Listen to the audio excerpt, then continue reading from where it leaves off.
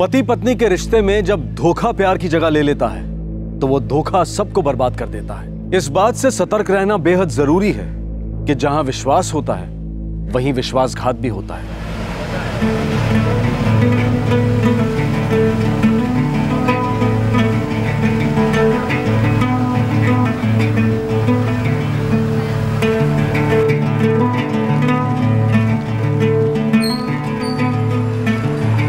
एक महीना। पूरे एक महीने और इंतज़ार करना होगा। अच्छा जी। बड़े उतावले हो रहे हैं आप। मैं तो दिन गिन रहा हूँ कि कब ये एक महीना बीते और मैं तुम्हें अपने घर ले चलूँ। मेरा भी कहाँ मन लगता है तुम्हारे बिना। जानता हूँ।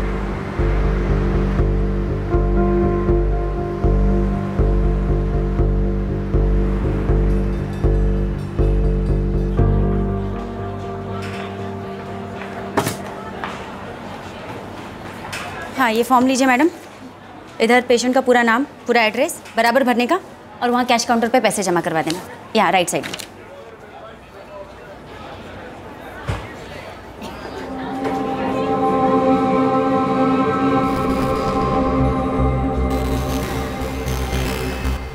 आए, आज दोपहर को भवानी काकी आई थी, और ये कार्ड देकर, अशोक अंकल की शादी का कार्ड है।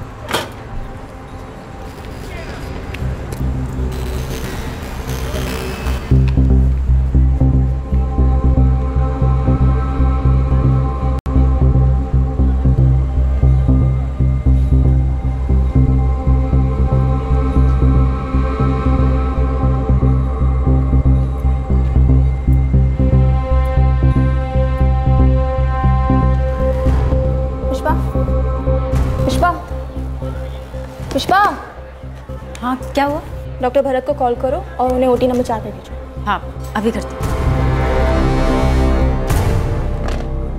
एक हॉस्पिटल में रिसेप्शनिस्ट की नौकरी कर रही पुष्पा परेशान नज़र आ रही थी। जब से उसने अशोक और वनीता की शादी का कार्ड देखा था कोई बात उसे अंदर ही अंदर खाए जा रही थी। ये कोई अपराध बोध था या फिर बदला? गिल्ट और चिल्ट।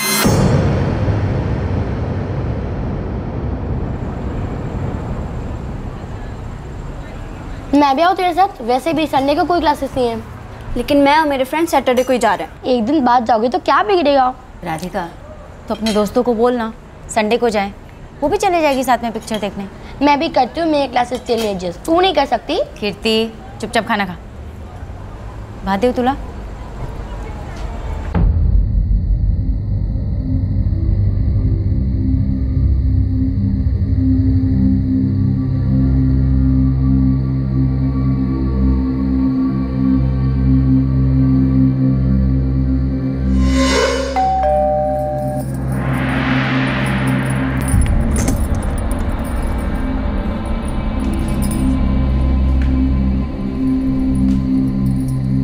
वसंत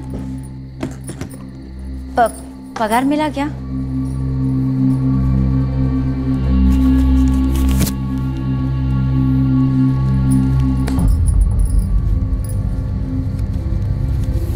वसंत ये तो खाली पाँच हज़ार है। बाकी के दो हज़ार? अपने लिए भी कुछ रखो कि सब तुझे ही दे दू। वसंत मैं इतने दिनों से दुकान से उधार चीज़ लेके आ रही हूँ। तुम हर महीने जो भी कमाते हो एक तो उसमें से कम देते हो। ऊपर से जो देते हो, उसमें से भी दारू पीने के लिए मांगते रहते हो। ऐसे घर कैसा चलेगा वसंत? ए, चुप। ये तो फिर से फटके पड़ेंगे कल राज्य से। भूल गए क्या?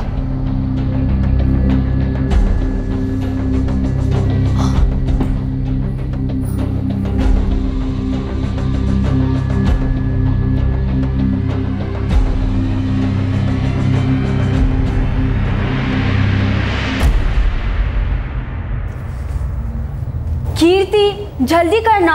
मेरे फ्रेंड्स वेट कर रहे हैं। बिगनिंग भी मिस हो जाएगी। अरे एक सेकेंड अब तू ही लेट करे। चल जल्दी। चल। हाँ चल। बाय आई राधिका कृति। अरे पिक्चर देख के सीधे घर वापस आना इधर उधर भटकना मत। हाँ बाय एक काम करते हैं। आज रात वहीं रुक जाते हैं। ढीला है क्या आई बाबा से क्या बोलूँ? अरे आई बाबा से बोल देंगे कि ऑफ़िस से ट्रिप पे जा रही हो। कुछ भी बोल अरे नहीं सच में।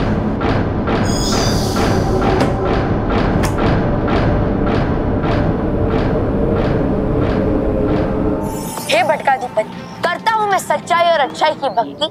दिख जाए मुझे अगर हो विद्यालय में कोई जादू मौत कभी नहीं।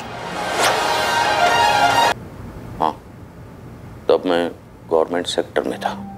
तो आपके डिपार्टमेंट में किसी को इस बारे में पता नहीं चला? नहीं। केशव जी अब आप रिटायर हो चुके हैं। इतने बरसों पुरानी बात है। अब आप सच बताएँगे तो शायद आपकी पेंशन रोक दी जाए। मैं जानता हूँ। लेकिन मैंने जाली सर्टिफिकेट और जाली मार्कशीट बनाकर ये नौकरी हासिल की थी। और 32 वर्षों से उसी नौकरी से मैंने कमाया है। तो पछतावा हो रहा है आपको? आई यू फीलिंग गिल्टी जी। तो आपने डिसाइड किया कि आप इस टीवी शो पर आके कन्फेस करेंगे? हाँ जी। पर अब इतने बरसों बाद क्यों? कि मैंने जो किया वो गलत था। अब मेरे बच्चे बड़े हो रहे हैं। अपने अपने करियर की शुरुआत करने जा रहे हो। और मैं नहीं चाहता कि वो मेरी गलती दोहराए। हो सकता है आपके बच्चे ये शो देख रहे हो। मैं जानता हूँ उन्हें बहुत बुरा लगेगा। लेकिन मैं सच कहना चाहता हूँ। इस दुनिया से जाते समय मैं मेरे सीने में ये बोझ लेकर नहीं जाना चाहता। मैं अपने परिवार से, मेरे ऑफ़िस के साथियों से माफ़ी चाहता हूँ। बरसों से मैंने उन्हें धोखा दिया है, सच को छुपा कर रखा है। मैं आप सबका दोषी हूँ। प्लीज़। प्लीज़ मुझे माफ़ कर दीजिए। प्लीज़।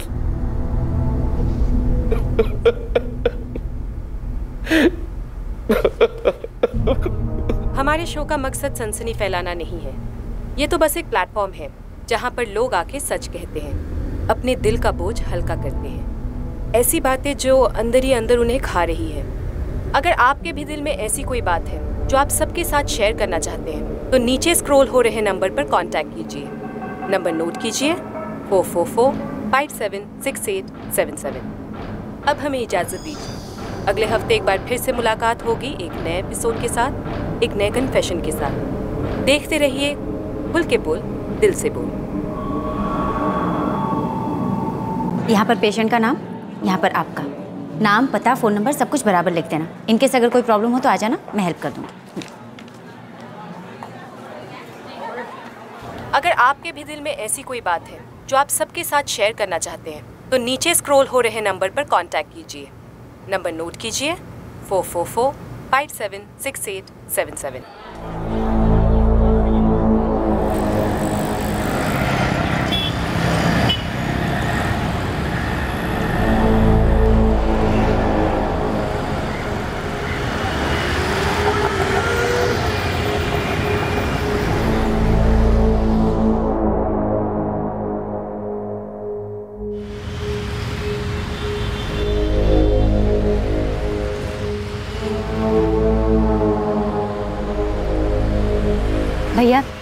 मुझे वो वनीता दलवी के घर जाना है। आपका नाम मैडम?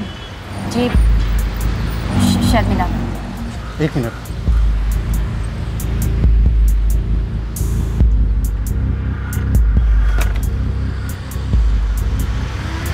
हाँ वनीता मैम। मैडम ये कोई शर्मिला मैडम आई आपसे मिलने? एक मिनट मैडम।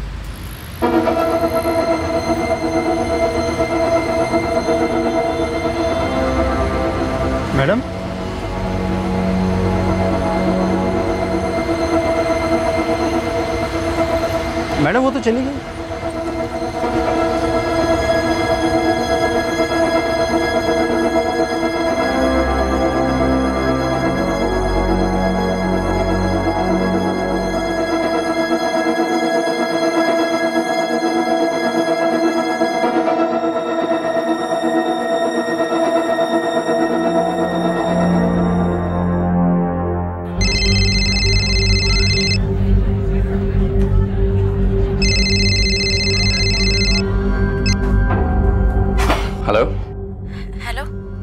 जी बोलिए।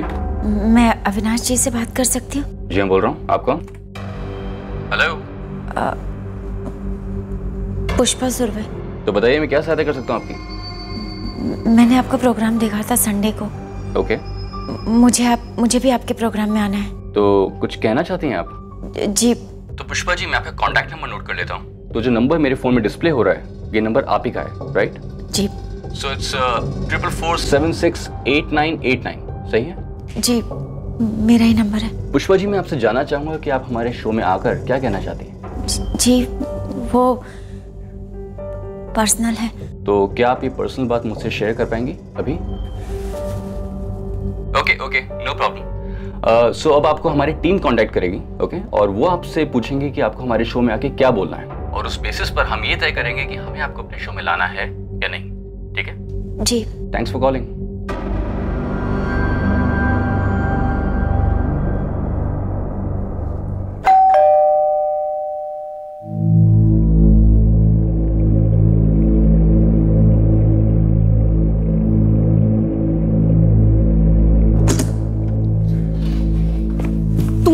वेट करने को। इतना ही घंटा लग रहा था वेट करने को तो चली जाती। तुझसे ना कभी कुछ टाइम पे नहीं होता। है पुष्पा ने टेलीविज़न शो पर अपने दिल की बात बताने का फैसला कर लिया था। कुछ ऐसा जो वो अपने अंदर छुपाए बैठी थी। क्या था ये राज? उसके सच बताने से किसकी ज़िंदगी पर असर पड़ने वाला था? और कैसे? सिक्योरिटी गार्ड ने पहले भी देखा था उसे। कह रहा था एक बार पहले भी मिलने आई थी पर अचानक लौट गई। शर्मिला तुम्हारे अभी वाले ऑफ़िस से या कहीं तुम्हारे पुराने ऑफ़िस से तो नहीं है? मैं किसी शर्मिला को जानती ही नहीं हूँ। तो फिर इतना टेंशन मत लो। हो सकता है कुछ बेचने आई होगी। फिर अचानक क्यों लौट जाएगी ऐसे? और और स्पेशली मुझसे क्यों मिलने आई?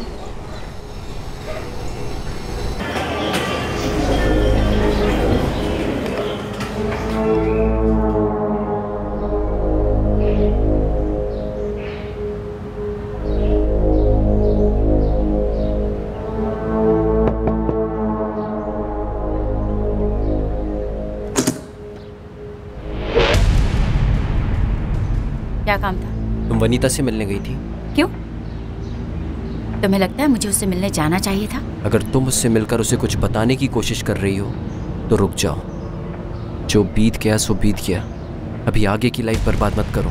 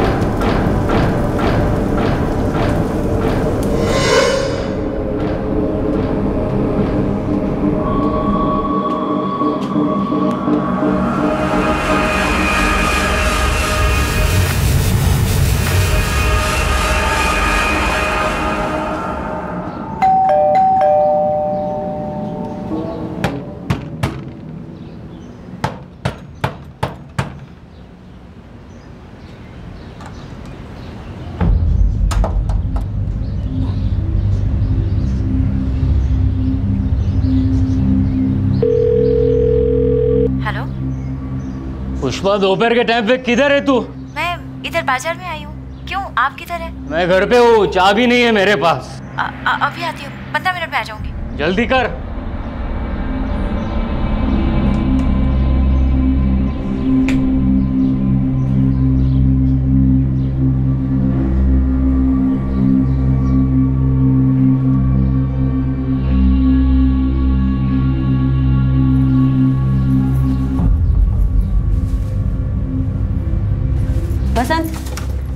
बसंत बसंत बसंत उठो अंदर चलो।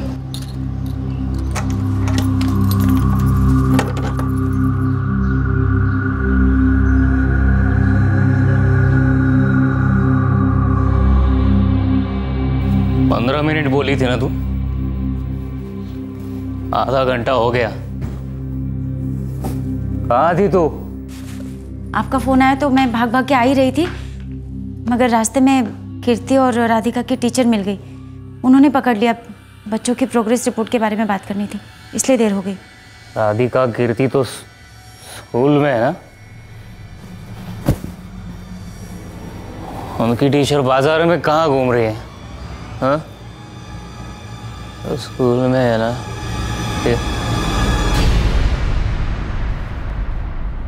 क्या हुआ?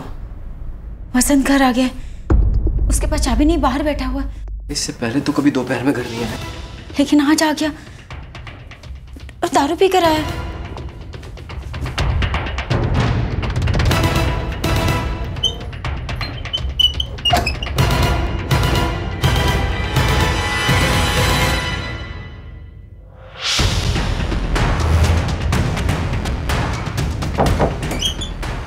सो रहा है वो। क्या करूँ मैं? मैंने बोला कि मैं बाज़ार में हूँ। एक मिनट रुको। ये पकड़ो। ये अरे पकड़ो।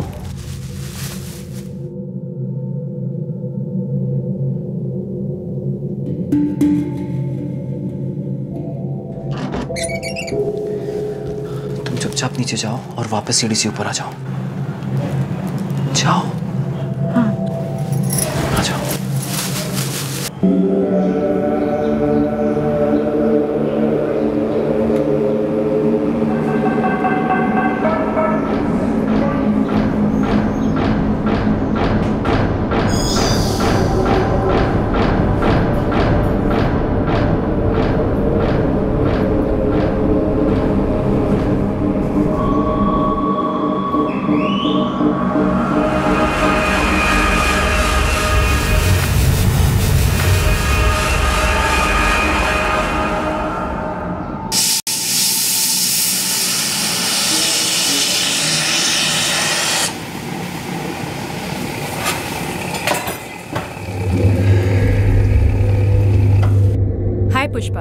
मृदुला बोल रही हूँ। तुमने मुझे शायद टीवी पर देखा होगा। मैं खुल के बोल दिल से बोल शो की एंकर बोल रही हूँ। जी जी मैंने आपको देखा है। तो क्या हम अभी बात कर सकते हैं? जी वैसे भी मेरा लंच टाइम है। ठीक है पुष्पा तो मैं जानना चाहती हूँ कि इस शो पर आके तुम क्या बताना चाहती हो। हमारे लिए जानना बहुत ज़रूरी है कि तुम जो कुछ भी कन्फेस करोगी उसमें कोई क्रिमिनल इंटेंशन नहीं होना चाहिए क्योंकि ये शो उस बारे में नहीं है। तुम समझ रही हो ना? जी वो मैं मैं अपने अफेयर के बारे में बताना चाहती हूँ। अच्छा कब शुरू हुआ था तुम्हारा ये अफेयर और कैसे? तीन साल पहले तुम शादीशुदा हो? जी मेरी दो बेटियाँ भी हैं। तो तुम्हारे पति को इस बारे में नहीं पता है? नहीं। वैसे भी वो अब इस दुनिया में नहीं है। ओ सॉरी क्या ये अफेयर तब शुरू हुआ था जब वो ज़िंदा थे? जी और उनके जाने के एक साल बाद तक चला। और जब तक वो ज़िंदा थे उन्हें इस बारे में कुछ नहीं पता था। नहीं। तो फिर तुम अब इस शो पर आके ये सब क्यों बताना चाहती हो? जी वो क्योंकि देखो पुष्पा अगर तुम किसी से बदला लेना चाहती हो तो ये शो उस बारे में नहीं है। नहीं नहीं मृदुला जी। पक्का? पक्का। ठीक है फिर मैं ये कर सकती हूँ। मैं अविनाश से कहकर तुम्हारा एपिसोड रिकॉर्ड करने का डेट फिक्स करवाती हूँ। हम टेलीकास्ट के एक हफ़्ते पहले रिकॉर्ड करते हैं। तो अविनाश तुम्हें फ़ोन करेगा। थैंक यू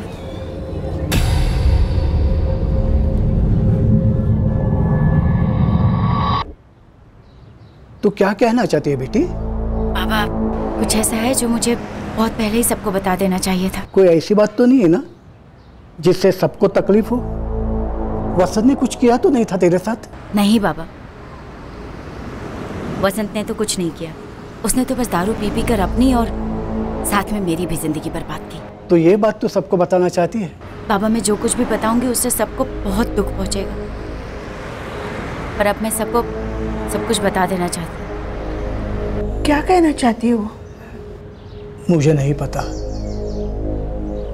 तीन साल हो गए मेरे बेटे को गुजरे हुए। अब कौन से गड़े मुर्दे उखाड़ना चाहती है वो? पुष्पा ऐसा क्या है जो टीवी पे सबके सामने बताना चाहती है तू? कुछ है बाबा जो बहुत दिनों से दिल में चुभ रहा है। तो तू हमें बताना बेटा हम तेरे आई बाबा है हम समझेंगे। आप नहीं समझेंगे। क्यों बेटा? ऐसे क्या गलत किया है तूने? कुछ किया है बाबा।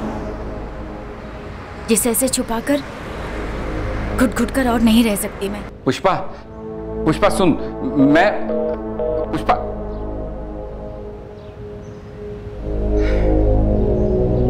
पता नहीं ये क्या कर रही है। अपनी बेटियों के बारे में भी सोचा या नहीं पता नहीं।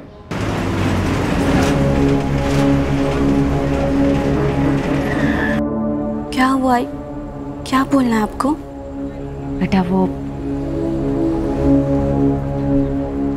मुझे मुझे अपने अफेयर के बारे में बताना।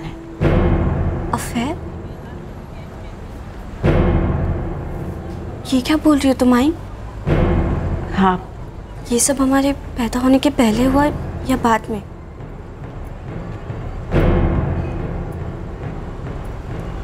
तुम दोनों के पैदा होने के बाद।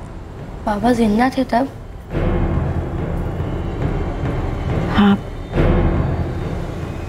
और उनके गुजर जाने के बाद तक चला।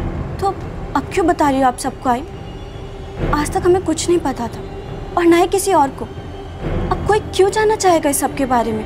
आई तो टीवी पे जाके सबके सामने ये सब बोलना चाहती है? तू झूठ बोल रही है आई? नहीं बेटा। कुछ और भी है जो तू हमसे छुपा रही है? आई मुझे पता है कुछ और भी है। किसके साथ अफेयर था तुम्हारा आई? हम जानते हैं उसे। राधिका तू मेरे साथ शो पे चलेगी बेटा। देख, मुझे वहाँ तेरी तेरी ज़रूरत पड़ेगी बेटा। राधिका.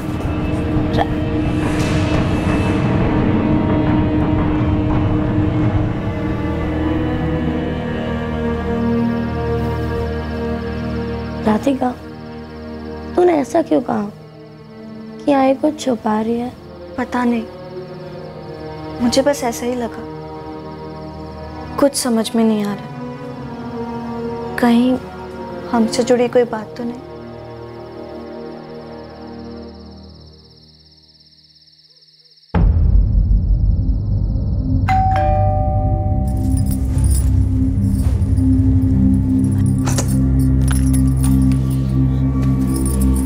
वसंत? वसंत? अभी तो तुम काम पर गए थे वापस आ गए? मुझे कोई दिलचस्पी नहीं है वो काम में। फिर हमारा घर कैसे चलेगा? तू कमा रही है ना? वसंत हमारी दो दो बेटियाँ हैं। तुमको मालूम है मैं हॉस्पिटल में पार्ट टाइम नौकरी करती हूँ। कभी तो उनके बारे में सोच लिया करो। मालूम है दो बेटी है। भगा मत! सोने भी नहीं देती। वो बेटी है। नहीं करना है मुझे काम वो? वसंत मैं हॉस्पिटल जा रही हूँ। ध्यान रखना घर का। वसंत। वसंत।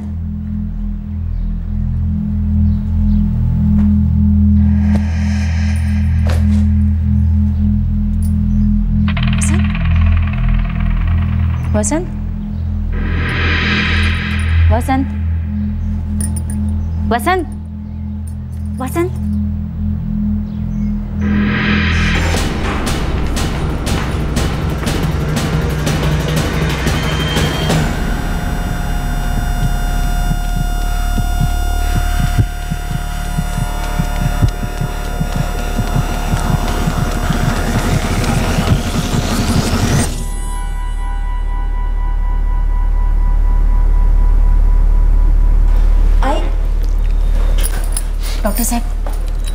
एम सॉरी पुष्पा लगता है इसे अटैक हुआ था कार्डियक अरेस्ट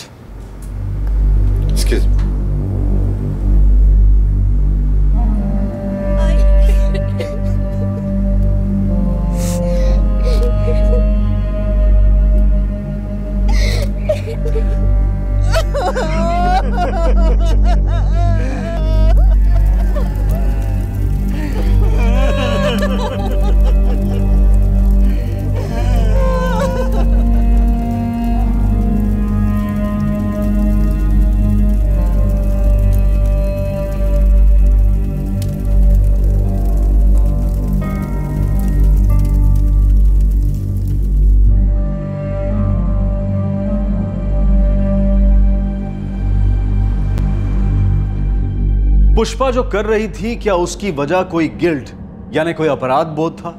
या फिर वो बेवफाई का बदला ले रही थी? क्या पुष्पा अशोक के साथ हिसाब बराबर करना चाहती थी? या फिर कुछ और भी था इस कहानी में? फ़िलहाल पुष्पा अपनी ज़िंदगी के एक छुपे हुए सच को पूरी दुनिया के सामने बताने के फैसले पर अटिक थी। और आखिर वो दिन आ गया। आई, आप भी सोच लो। मैंने सोच लिया बेटा।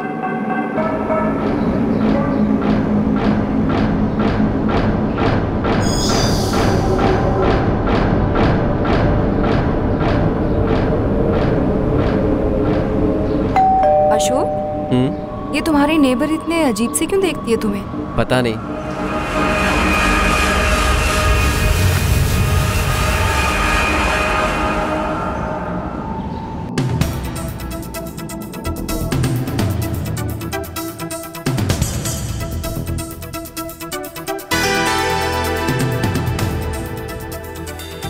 Mridula, Yeah. we're all set to roll.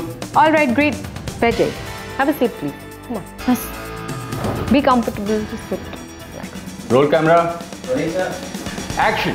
आज हमारे साथ है पुष्पा सुरवे और उनकी बेटी राधिका सुरवे पुष्पा हमारे साथ अपने बीते हुए कल के बारे में कुछ बताना चाहती है कुछ ऐसी बातें जो इससे पहले उन्होंने किसी के साथ शेयर नहीं की लेकिन आज पहली बार इस शो में वो ये बात बताएगी पुष्पा आपका इस शो में स्वागत है बताइए क्या कन्फेस करना चाहती हैं आप? वो मैं अपने अफेयर के बारे में बताना चाहती हूँ। एक ऐसे आदमी के साथ जो जो हमारी ही बिल्डिंग में रहता है। पुष्पा अगर आपको लगता है कि आपके सच बोलने से उस आदमी की ज़िंदगी पे कुछ बुरा असर पड़ सकता है तो आपको उनका नाम लेने की कोई ज़रूरत नहीं। उसका नाम अशोक भंडारे है। आज दोपहर को भवानी का के आई थी और एक कार्ड देकर गई। अशोक अंकल की शादी का कार्ड है। तो फिर आपने अब इस बारे में बात करने का फैसला क्यों किया? मेरा अफेयर अशोक के साथ तब से था जब मेरे पति ज़िंदा थे। मेरे पति शराबी थे। उनकी उस लत की वजह से हम सबकी जिंदगियाँ बर्बाद हो रही थी। मुझे अपनी दोनों बेटियों को पालना था। और उनका बाप नौकरी छोड़कर घर बैठ गया था। दिन भर बस दारू पीता। और मैंने अपना घर चलाने के लिए पार्ट टाइम नौकरी कर ली। और तब ये आदमी मतलब आपका पड़ोसी आपकी ज़िंदगी में आया? वो तो बहुत पहले मेरी ज़िंदगी में आ चुका था। सब कुछ देखता था कि मैं कैसे सब कुछ अकेले झेल रही हूँ। उसे मुझसे हमदर्दी थी और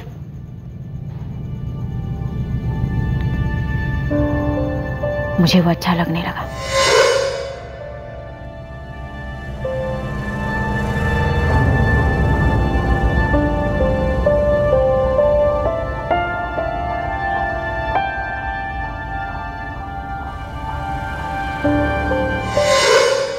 दूसरे के बहुत करीब आ गए थे।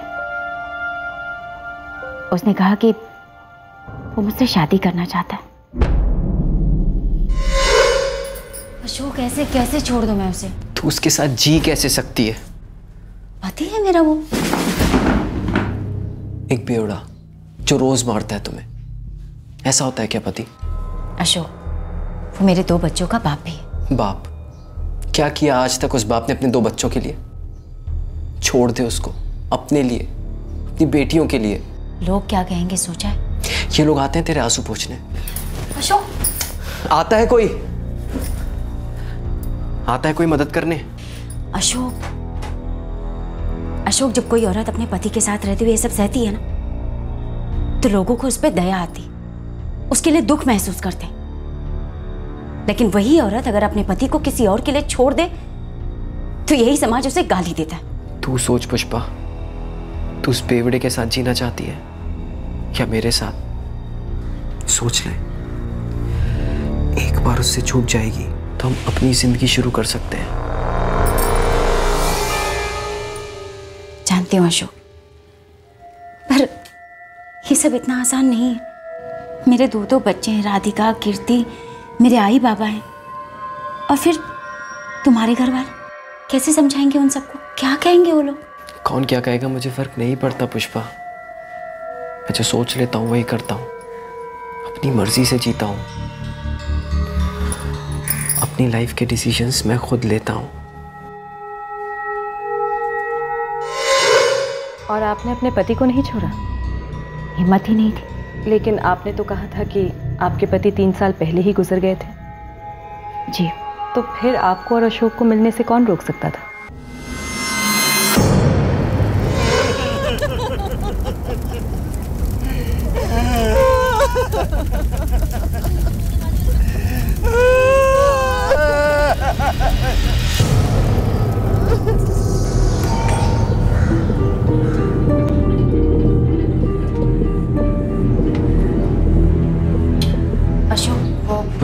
आई बाबा हैं घर पे। पर मुझे कुछ ज़रूरी बात करनी है। कल दोपहर में मिलते हैं ओके? मेरा वो ड्यूटी का टाइम होता है। अच्छा ठीक है लंच टाइम में मिलते हैं तुम्हारे हॉस्पिटल के पास वाले रेस्टोरेंट में ओके? हाँ पर मुझे अशोक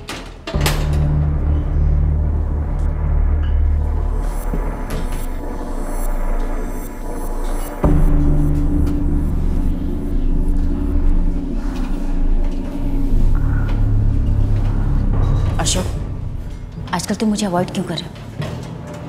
पुष्पा जो हुआ सो हुआ। अभी वापस से वो ज़िंदगी शुरू नहीं कर सकते। बहुत कुछ बदल गया है। क्या बदल गया है? पुष्पा तुम्हारी दो बेटियाँ हैं। उनके बारे में सोचो। तुम बात को घुमाओ मत। बसंत को गुजरे पूरे दो साल हो चुके और तब से तुम शादी की बात को टाल रहे हो। अब हम शादी क्यों नहीं कर सकते? अशोक मुझे सही सही बताओ। तुम्हारे आई बाबा ने तुम्हारी शादी नक्की कर दी है ना?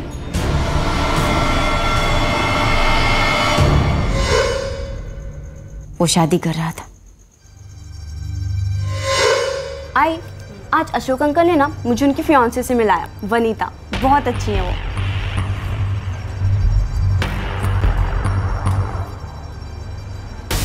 अशोक तुमने मुझसे कहा था कि तुम मुझसे शादी करना चाहते हो। पुष्पा समझने की कोशिश करो। मेरे आई बाबा नहीं मानेंगे। पहले तो तुम बहुत सीना ठोक कर कहते थे कि तुम अपनी ज़िंदगी अपने हिसाब से जीते हो। मैं वही करता हूँ जो मैं सोचता हूँ। मैं अपनी ज़िंदगी के फैसले खुद लेता हूँ। अब क्या हो गया?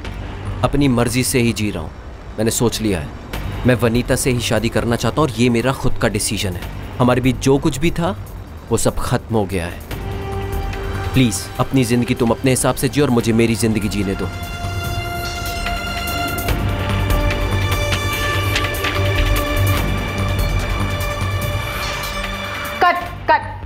Pushpa Pushpa I am sorry ये शो इस तरह से अपने पर्सनल हिसाब चुकता करने या फिर किसी से बदला लेने के लिए नहीं है। मैंने तुमसे पहले ही पूछा था कि तुम किसी से बदला तो नहीं लेना चाहती हो। तब तुमने मना किया था। लेकिन अब तुम्हारी बातों से ये ज़ाहिर है कि तुम अशोक से बदला लेना चाहती हो। ना कि अपने दिल का बोझ हल्का करना चाहती हो। बात सिर्फ़ अशोक से बदला लेने की नहीं है। मैंने जुर्म किया है। मैं गुनहगार हूँ।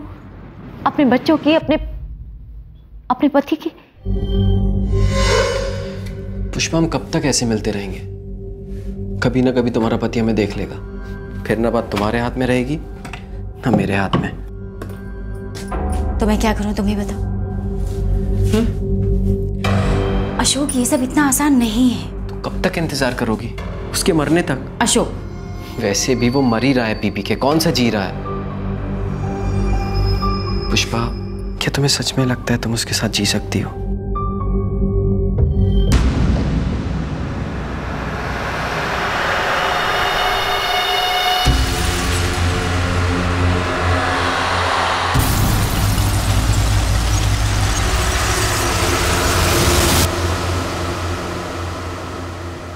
हाँ?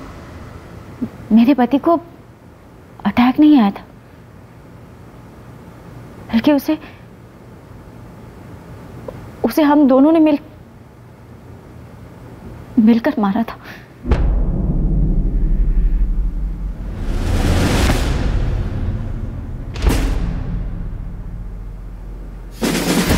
वसंत अभी तो तुम काम पर गए थे वापस आ गए? मुझे कोई दिलचस्पी नहीं है वो काम में फिर हमारा घर कैसे चलेगा? तू कमा रही है ना? वसंत हमारी दो दो बेटियाँ हैं। मालूम है दो बेटी है। पका मत। सोने भी नहीं देती। करना है मुझे कहा वो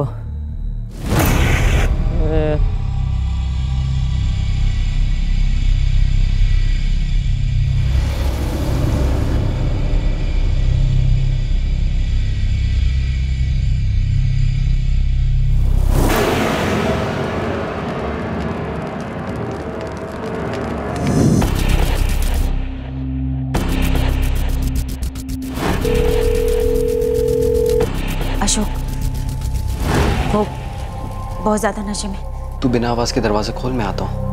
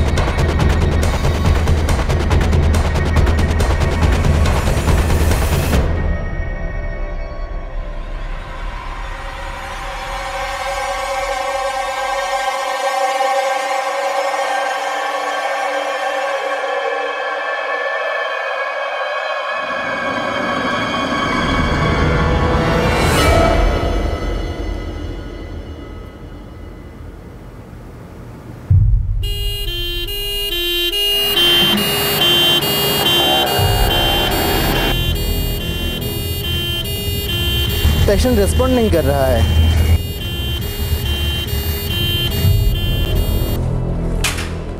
क्या हुआ आई?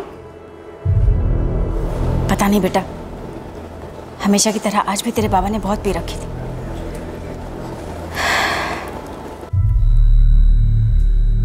मुझे डर था कि सबको पता चल जाएगा। लेकिन डॉक्टर साहब। I am sorry Pushpa. लगता है इसे अटैक हुआ था cardiac arrest excuse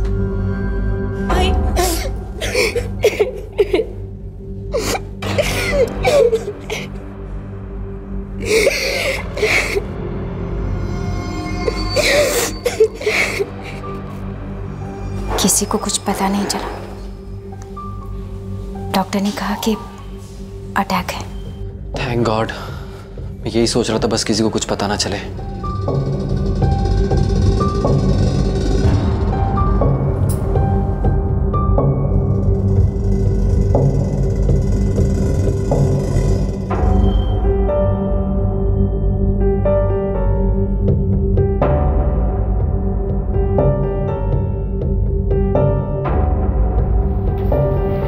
Avinash I think हमें पुलिस को इन्फॉर्म कर देना चाहिए। Yes, you're right. I'll call them immediately.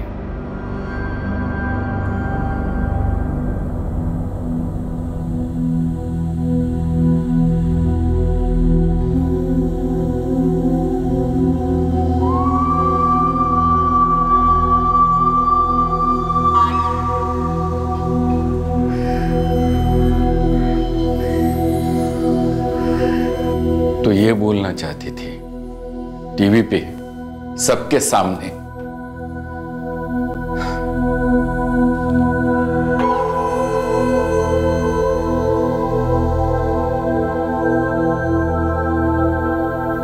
वो शर्मिला ही पुष्पा थी ना। मुझे तुम्हारे बारे में बताने आ रही थी। वो। शायद वही थी। तुमने मुझे बताया क्यों नहीं अशोक?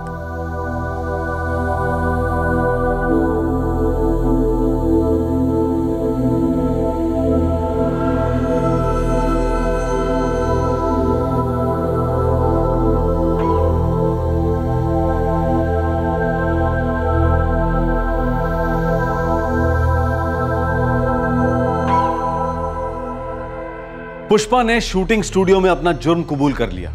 फिर पुलिस को अपना बयान भी दिया। पुलिस इस केस की जाँच कर रही है। अशोक और पुष्पा इस वक्त न्यायिक हिरासत में हैं। अपराध बोध या बदला? यह वाकई बेवफाई का बदला ही था जिसने अपराध बोध को जन्म दिया था। पुष्पा ने यह माना कि अशोक के धोखे ने ही उसे इस जुर्म को कबूल करने पर मजबूर किया। उसने कभी सोचा भी नहीं था कि इतना सब कुछ हो जाने के बाद अशोक पलट जाएगा और किसी और से शादी कर लेगा। सबसे बड़ा सच यह है कि जुर्म कभी छुपा नहीं रह सकता। क्राइम नेवर पेस शायद कुछ लोग ये कहेंगे कि अगर अशोक और पुष्पा एक दूसरे के साथ रहते, शादी कर लेते तो यह अपराध कभी सामने नहीं आता। लेकिन ऐसा नहीं हुआ। जुर्म की नींव पर अगर आप कोई इमारत बनाएँगे तो यकीन मानिए वो ज़्यादा दिन तक नहीं टिक पाएगी। और प्रेम के रिश्ते की तो बिल्कुल नहीं। अक्सर कानून ऐसे अपराधियों तक पहुँच ही जाता है। और कई बार अपने अपराध के बोझ तले दबे ये लोग इस बोझ को अपने सीने पर ढोते ढोते थक जाते हैं। ये कोई बहुत मुश्किल सच नहीं है जो कि समझ में ना आए। और ना ही इसके अंदर भाग्य और किस्मत का कोई योगदान है। बात बहुत सिंपल सी है। क्राइम नेवर पेज जुर्म कभी फ़ायदेमंद नहीं हो सकता। आप कब तक किसी को अंधेरे में रख सकते हैं? किसी की जान लेकर आप कैसे अपनी ज़िंदगी संवार सकते हैं? और किसी को चोट पहुंचाकर आप कब तक सुकून से जी सकते हैं? कर बुरा तो हो बुरा। यह सिर्फ़ कहावत ही नहीं, बल्कि आपके और हमारे जीवन का एक बहुत बड़ा सच है।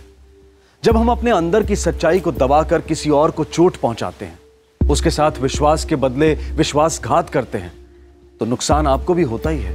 वो सब जो ये कहते हैं कि हमने जुर्म करने का तरीका देखा, ये देखा कि हम कैसे बच सकते हैं तो हम उनसे ये कहना चाहते हैं कि वो इसके अंत पर भी गौर करें।